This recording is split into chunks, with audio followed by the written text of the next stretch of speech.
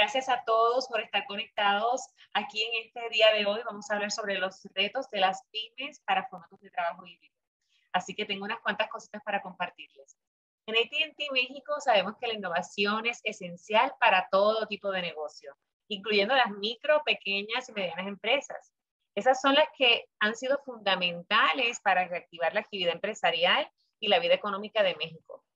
Entonces, cuando pensamos en estas empresas, también pensamos en la transformación digital de estas compañías que son clave para que el país siga caminando hacia una recuperación sostenible.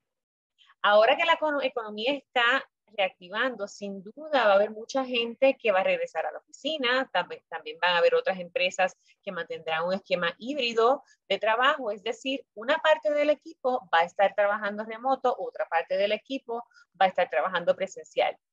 Cerca del 60% de los colaboradores espera trabajar desde el hogar por lo menos ocho días al mes y un 97% desea cambios para lograr unos entornos laborales que sean mucho más seguros.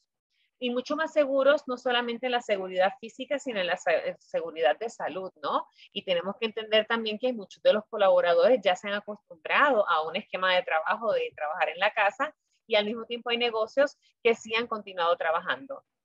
Cosas que les puedo compartir eh, como recomendaciones para los líderes para que se preparen ante esta nueva modalidad.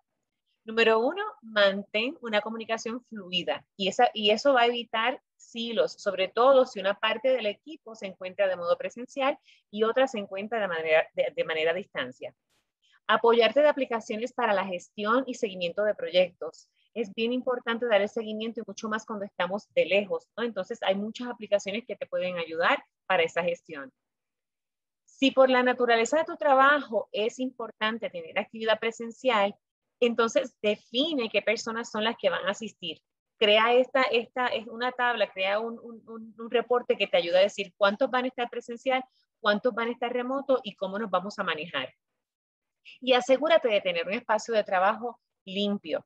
Sabemos que esto es un reto porque es constante limpieza, ¿no? Para asegurar la seguridad, pero es una de las cosas que son más importantes para que tu colaborador se sienta seguro.